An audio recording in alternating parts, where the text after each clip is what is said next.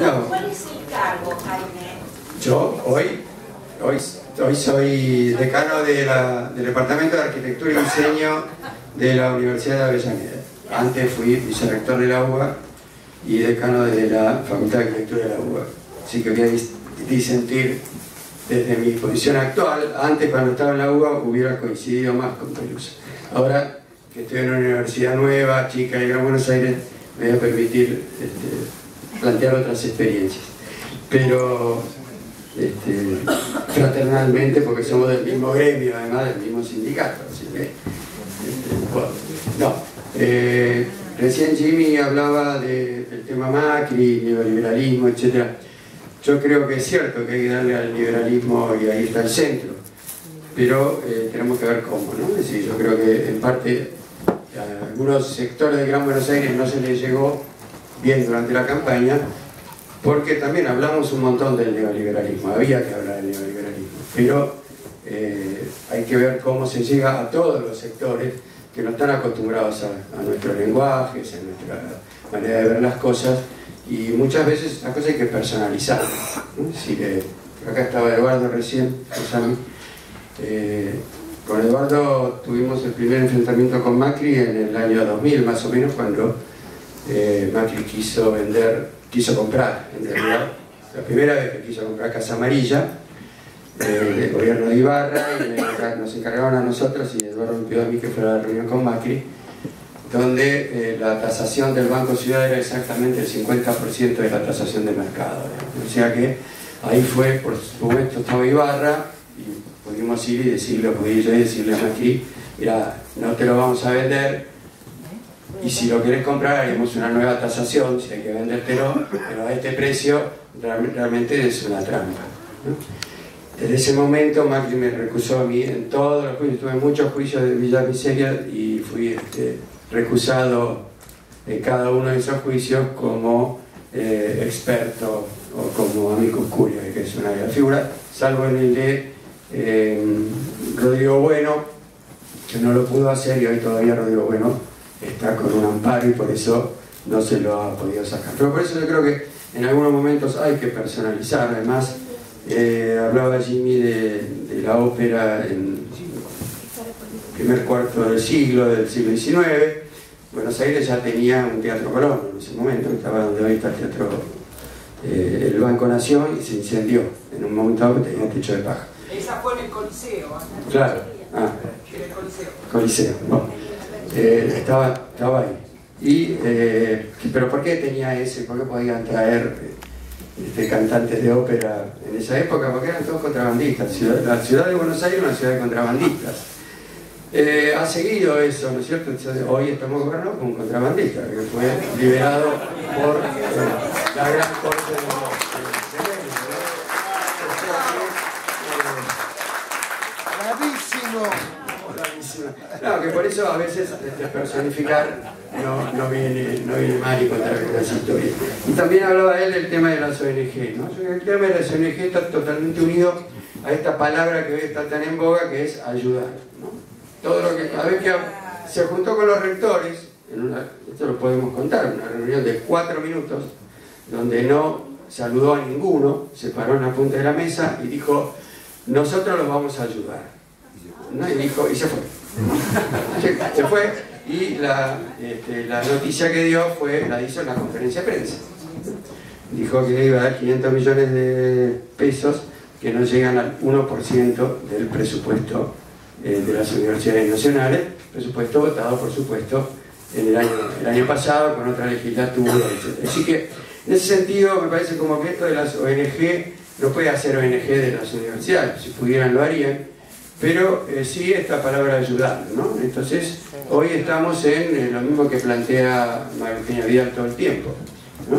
Ellos van, ayudan, ¿eh? se han cambiado el tema de la discusión por los derechos sociales, económicos y culturales, por el tema de la ayuda por parte del Estado a aquellos sectores que lamentablemente están sufriendo los golpes del, del sinceramiento, ¿no? que lo pone muy mal, además, como lo han ¿no? que este, él le, crea- le da- le crea mucha angustia el sinceramiento. Pero bueno, eh, esto es así, me parece que este tema de las ayudas versus los derechos es un tema central y me parece que quizá uno de los temas a donde más fuerte se puede golpear, porque no hay que hablar de neoliberalismo, simplemente plantear qué hizo el gobierno, como decía Cristina, ¿no? cómo están viviendo hoy en el momento en que se desarrollaron los derechos sociales y económicos y cómo están viviendo hoy, a donde están todos dependiendo de una ayuda, ¿no? hasta desde el vendedor de, tortas fritas hasta la señora, lamentable ejemplo que dio, ¿no? de la señora que limpia los baños, como que fuera el futuro del empleo en Argentina. Y evidentemente están pensando en algo así, ¿no? porque más allá del tema de universidad, que me voy a referir después, este, todo esto que ha sucedido estos días, en el cual el ministro de Trabajo, ¿no cierto?, no solo plantea el tema de McDonald's, que ya lo se, se contó acá, sino que quiere incluir en las paritarias, cosa que está prohibido por ley, pero que van a intentar hacerlo, sacar el derecho de huelga, o sea que si vos te adherís una huelga, te descuentan el día, cosa que hoy está vigente, además, te lo pueden descontar, pero a ningún patrón, a ninguna patronal se le ocurre discutir esto, sino que cuando termina un paro siempre se dice, bueno, y no se van a descontar los días de paro, porque sería realmente em, empezar todo el conflicto de nuevo. El tema de la productividad, no discutir más convenios, sino discutir aumento de salario por productividad, cosa que los compañeros acá de Derecho del Trabajo lo saben absolutamente, ¿no? una cosa que heredada de los 90 y el tema de la flexibilización y del empleo joven esclavo, como aparece con el tema de McDonald's y que se plantea hoy como si fuera eh, la gran panacea versus ¿no? la ley de prohibir el, los despidos que, la hizo el Senado, que no es una ley profunda, ¿no es cierto? Pero es una ley que pondría ciertos, ciertos eh, obstáculos por lo menos. Me parece que esos han sido temas de la semana. Uno llega el viernes a la noche y dice qué pasó esta semana y bueno, tiene una agenda de temas realmente este, dice, estamos volviendo, salimos del infierno porque volvimos rápidamente, ¿no es cierto?, a caernos en el séptimo infierno, digamos, ya estamos, estamos bastante complicados con esto. Entonces estas son las cosas, me parece que, es bueno que las, las podamos discutir en todos los ámbitos. ¿no? Eso parece que eh, una de las cosas que sí estoy de acuerdo con, con Pelusa, que planteó que fue la convergencia de los distintos sectores sindicales, que empezó con el primer, eh, con el acto del 29, ¿no cierto?, donde por primera vez las cinco centrales se unieron, donde plantearon que si hay un veto, plantearon implícitamente, si hay un veto a la ley de despido, vamos a tener un paro general organizado por las cinco o las cuatro, el nuevo seguramente con, no va a estar metido en esto, pero las cuatro centrales de verdad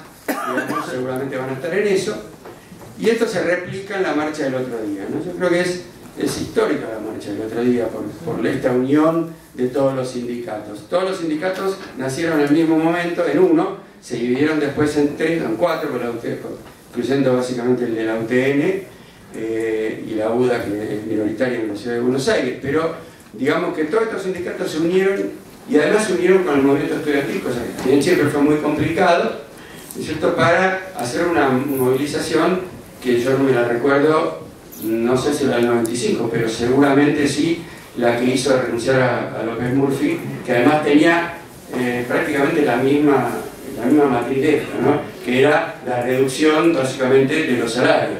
La reducción de los salarios no se hace solamente diciendo reduzco un 20%, sino se hace firmando una paritaria que sea la mitad de lo que fue la inflación. no hace falta decir que van a reducir el salario, ya lo vemos, vemos para dónde están yendo. Ahora, ¿qué, ¿cuál es el, me parece, el, tema en donde hay que centrar las discusiones? Es la defensa de la educación pública. Si nosotros lo dejamos en el tema de los salarios, en un momento dado, un sector de los docentes seguro se va a correr. Me parece que porque si se firma una paritaria más o menos aceptable, y a poco la movilización del otro día levantó obviamente el piso de la paritaria de ahora, mm, todavía no, no alcanza, pero seguramente no alcanza no tanto numéricamente, sino en la manera en que se va a pagar, porque se pagaría en la mitad recién en noviembre o diciembre del año, de este año.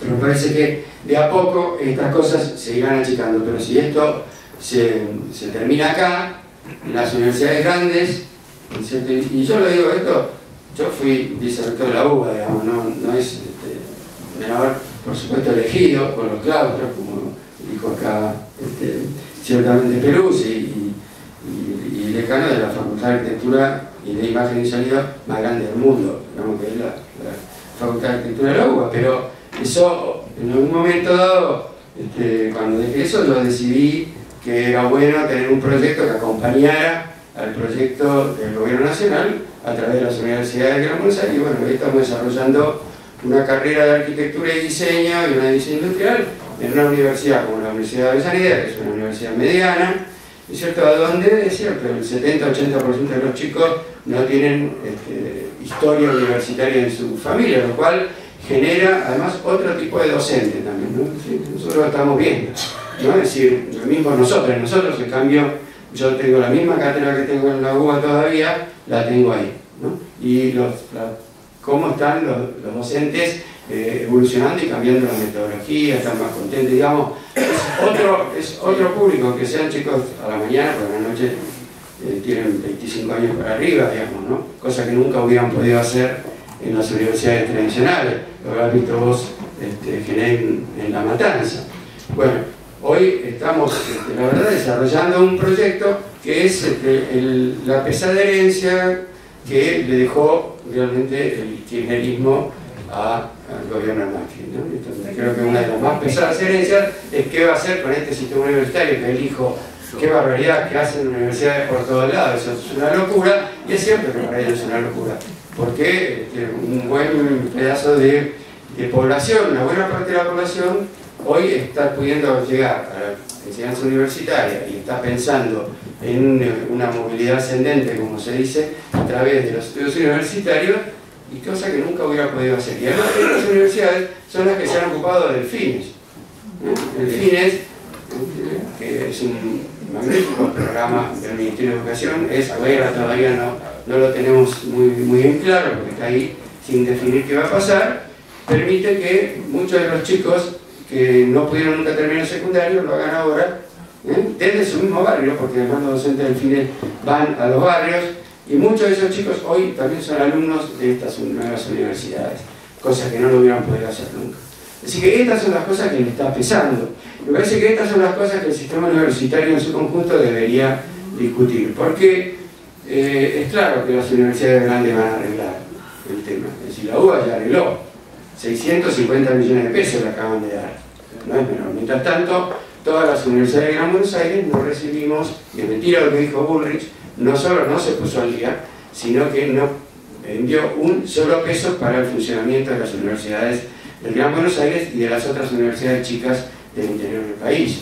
Con lo cual, ¿cómo? La de Entre Ríos no recibió más. No, no, por eso. Hoy eh, te- te están arreglando a través de las grandes universidades, cosas que, que además son las que manejan, no sabemos, la UBA está realmente manejada por un acuerdo que eh, básicamente es el Partido Radical de la Ciudad de Buenos Aires, el presidente del Partido Radical es el secretario de Hacienda de la UBA. Más, más directo, más, más directo que eso, que eso no, no hay. Eso está bastante arreglado. Entonces, el problema creo que hay es que hay que tratar de desplazar el eje y sacarlo del tema de la discusión este, salarial, que es importante, obviamente, pero eh, hay que seguir metiéndolo en el tema de la defensa de la educación pública, de la universidad pública, gratuita y democrática. Es decir, el tema de la discusión por el que no intenten volver a poner el arancel. Hoy, si ustedes preguntan, incluso dentro de muchas universidades, eh, no, está muy lejos de algunos imaginarios decir, bueno, este, y si se arancela una parte, no, ¿por qué no lo hacemos? Me parece como que esa es una discusión importante que tenemos que tener, en eso podemos nosotros seguramente este, aportar. Los están arancelados. ¿Eh? Los posgrados. No, los están arancelados en muchas eh, facultades, eh, no en otros no, depende de la de, de- cuál sea, en filo y en sociales no, en otras universidades sí, digamos, bueno, pero eso depende de las conducciones, está permitido. Pero la realidad es que la ley de educación superior de MEM, que nunca pudimos cambiar ¿eh? durante estos 12 o 13 años de gobierno, permite el hecho, la Universidad de Córdoba cobra un bono, que no es demasiado, pero ya están cobrando. En muchos lugares esto está pasando ya por el imaginario de algunos que dicen, bueno, si no nos mandan la plata, de algún modo tenemos que hacerlo. ¿eh? Entonces ahí aparece eh, todos estos temas. ¿no? parece que estos son los temas que, que tenemos que discutir. Eh, por eso yo te decía, Pelusa, vos cuando hablas, siempre todo el mundo cree que la UBA es el sistema universitario. Cuando nombra algo, si bien vos sos de La Plata, habla, dice la UBA. Y la UBA es una parte del sistema universitario. No, no, no, no, la, lo que sé de la UBA sí. o la historia de la UBA. La historia de la UBA. Pero la verdad es que hoy, entre todas las universidades nuevas del Gran Buenos Aires, hay tantos estudiantes como tiene la UBA. Hoy hay más de 300.000 estudiantes de la UBA. Así que, eh, un poco eso.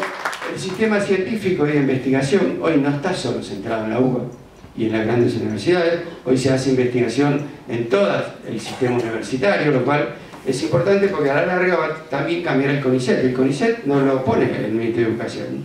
CONICET lo eligen, la comisión del CONICET, salvo el presidente, lo eligen los investigadores.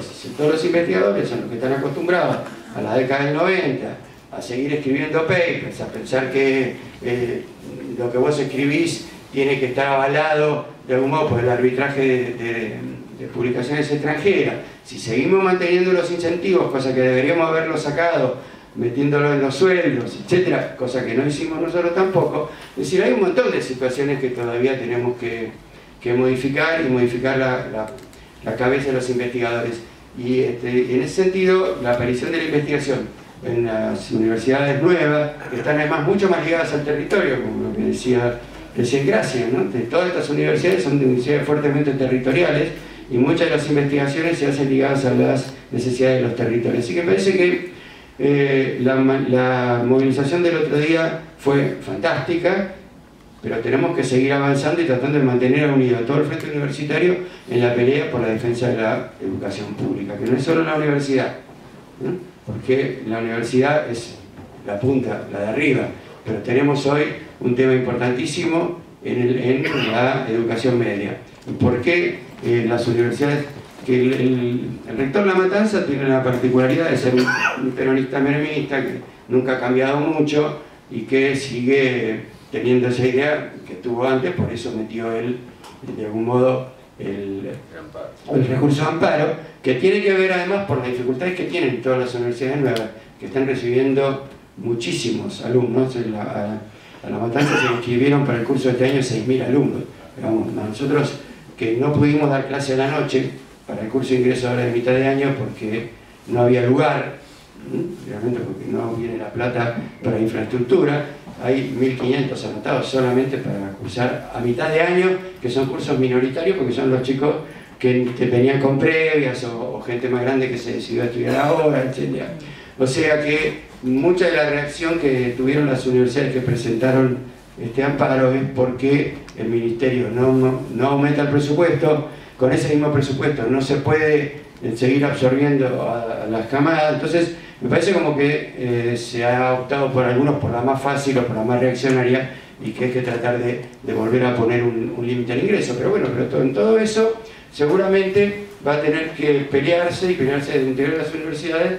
Y yo vuelvo a decir, defendiendo al conjunto del sistema público, que es lo que el macrismo quiere destruir, porque detrás del sistema público de las universidades se destruye toda la educación pública, pero también se avanza en esto que decíamos, vamos a darles ayuda, no le vamos a reconocer los derechos.